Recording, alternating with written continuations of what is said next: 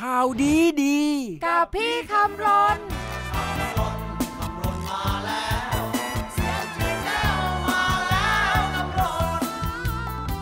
ตอนเมืองโกโก้ของเมืองไทยอยู่ในจังหวัดแม่ห้องสอนเนอ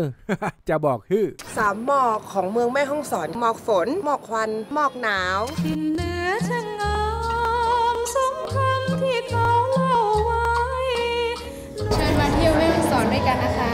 มีโอกาสไปเยี่ยมม.ราชภัฏเชียงใหม่ วิทยาเขตแม่ฮ่องสอนทำให้ทราบว่าเวลานี้ม.ราชภัฏเชียงใหม่ วิทยาเขตแม่ฮ่องสอน ร่วมกับอบจแม่ฮ่องสอนส่งเสริมให้เกษตรกรในจังหวัดแม่ฮ่องสอน ปลูกโกโก้กันอย่างเป็นล่ำเป็นสัน ช่วงนี้เราขับเคลื่อนเรื่องโกโก้แม่ฮ่องสอนเมืองช็อกโกแลตอยู่ค่ะ เป็นนโยบายของใครฮะร่วมกับจังหวัดโครงการขับเคลื่อนอ๋อกับองค์การบริหารส่วนจังหวัด ร่วมกับอบจ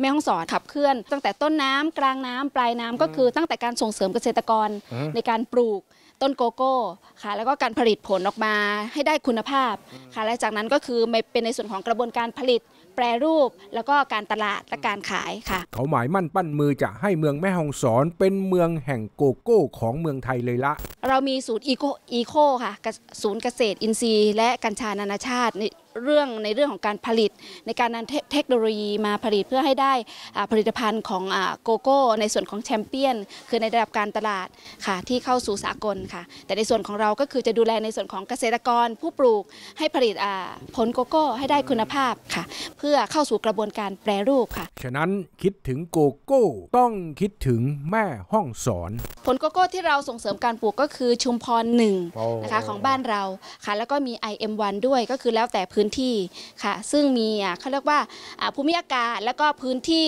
ที่แตกต่างกัน ก็เลยมี 2 สายพันธุ์นี้ที่ส่งเสริมในภาคเหนือค่ะ แต่ส่วนของเราเป็นชุมพรหนึ่งค่ะ 20 ปี เราเริ่มตั้งแต่ 2560 ค่ะ น่าจะ 2579 ก็น่าจะ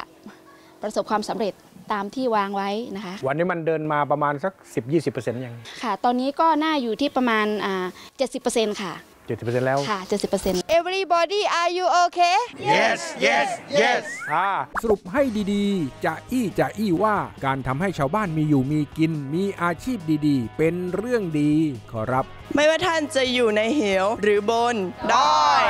มหาวิทยาลัยเดียวที่ทำได้ ใช่ไหมครับ ใช่ค่ะปีกบ้านเฮาเตือนนาหายัง